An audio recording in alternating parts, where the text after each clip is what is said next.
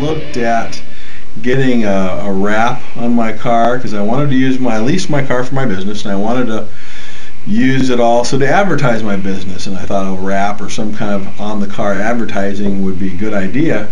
And I investigated and found the prices for partial wraps up to full wraps varied from as low as $2,000 up to $5,000 and I decided my goodness that's just too much money for what I want to do uh, and I kind of put the thing on a back burner and one day Tony called me and said hey I've got this opportunity that I'm working on uh, these kind of things. And I thought well might as well get another estimate and see what it comes out to be.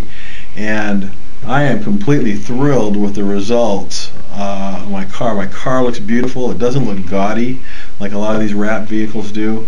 And it is uh, still looks sharp and the price was below $500 and so I'm just very happy with what's gone on and the service I've received.